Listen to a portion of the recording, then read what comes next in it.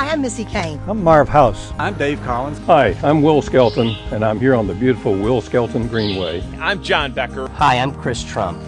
There goes my dog. I'm Rebecca Bryant. Hi, I'm Bart Carey. I'm Nikki Collett. Hi, I'm Thomas Krajewski. I'm Susan Williams. I'm Bill Mason with my granddaughter Emery. Hey, I'm Don Parnell, and I'm so grateful that every day I can take a walk in the woods in the heart of Knoxville. I can ride great trails in the heart of Knoxville, like these at Baker Creek Preserve.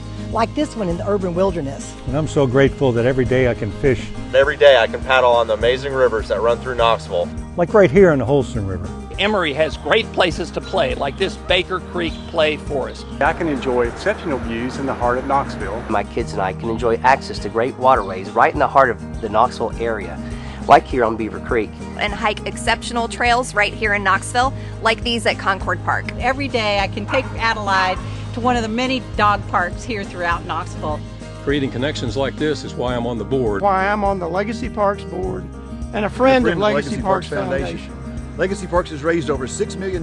More than six, six $6 million. Six million dollars for local parks and trails in our city. So if you want to get out and enjoy more spaces like this, become a friend of the Legacy Parks today. So come on and join us. Come join us.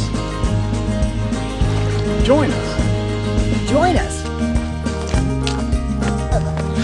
Join us. Come join me. Join us. Join us.